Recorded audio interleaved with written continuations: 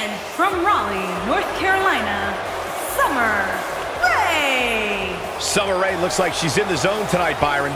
And a win here could be huge for her. And of course, I'd like to encourage anyone interested to check out www.thetruth.com to find out more information on smoking and the effects of tobacco use. Yeah, check out the facts link. Once you find out what's in tobacco smoke, you might think twice about smoking.